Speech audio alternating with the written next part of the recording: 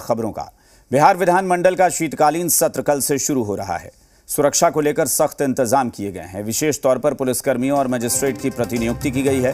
बिहार विधानमंडल के बाहर धारा 144 लगा दी गई है। लगभग 500 पुलिसकर्मी, मजिस्ट्रेट, ट्रैफ़िक पुलिस के जवान को लगाया गया है। बिहार विधानमंडल के बाहर हर एंट्री पॉइंट पर पाँच पुलिसकर्मी, एक मजिस्ट्रेट, एक इंस्पेक्टर, एक दरोगा की प्रतिनियुक्ति की गई है। साथ ही सीसीटीवी से लगातार लोगों पर नज़र रखी जाएगी। विधानमंडल सत्र को लेकर कैसी होगी सुरक्षा व्यवस्था, बता रहे हैं हमारे संवाददाता शिवम।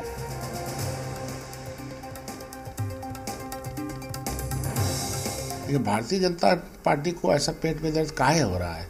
वो जातीय जनगणना के खिलाफ क्यों है? यह बड़ा प्रश्न है।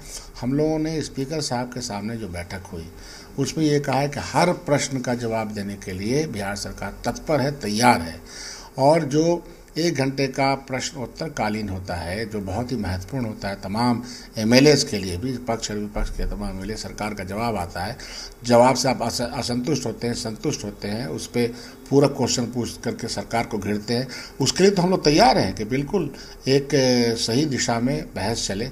तो बिहार सरकार तो पूरे तौर पर, सारे घटक दल पूरे तौर पर तैयार है। हम लोग के भी क्वेश्चंस होते हैं सरकार से। तो उसमें कोई दिक्कत नहीं है, जो आप प्रश्न कर रहे हैं, उसका जवाब भी मिल जाएगा। भारतीय जनता पार्टी के तमाम नेता, पिछड़ों, अल्पसंख्यकों, अति पिछड़ों और गरीबों के हमेशा ही उसके बारे में अहित करने का काम किए हैं। आपको हम बताना चाहते हैं, बिहार में जातीय जनगणना का, अगर किसी ने विरोध करवाया और विरोध करने का काम किया तो भारतीय जनता पार्टी और एनडीए के तमाम नेता।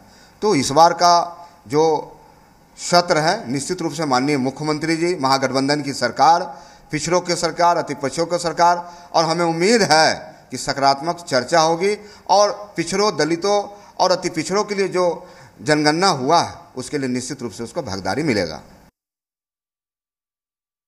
नहीं नहीं, भारतीय जनता पार्टी को सबसे पहले ये बताना चाहिए कि उन्होंने आरक्षण का विरोध क्यों किया था?